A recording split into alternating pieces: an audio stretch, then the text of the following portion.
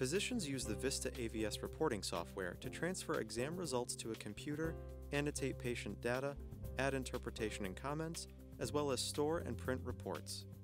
To begin, place the Vista AVS reporting software CD in the computer's CD drive and follow screen instructions to install the software.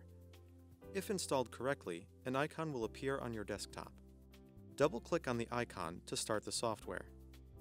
Turn the Vista AVS on and check that it is connected to the computer via the USB cable.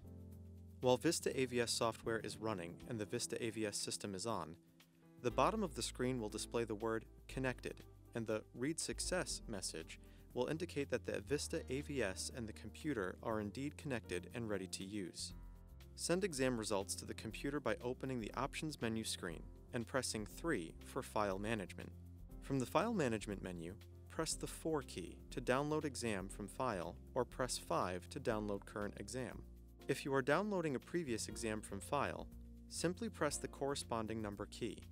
Report data in the software is segmented into three sections separated into tabs at the top of the page. Select a tab to access or enter information.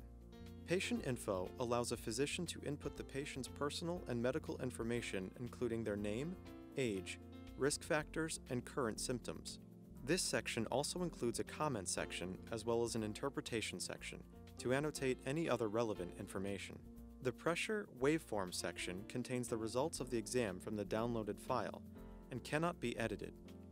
This information includes the ankle and brachial pressures and the ABI scores. Waveforms are displayed, as well as the time and date stamp for each, modality used, probe frequency, and the site where the waveform was obtained.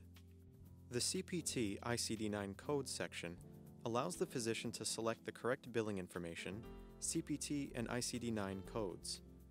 Before completing the report, the facility information can be edited to display, for example, the correct facility name and address. When all of the necessary information has been correctly added, the physician has several options for managing the report, including saving, opening, exporting, and printing.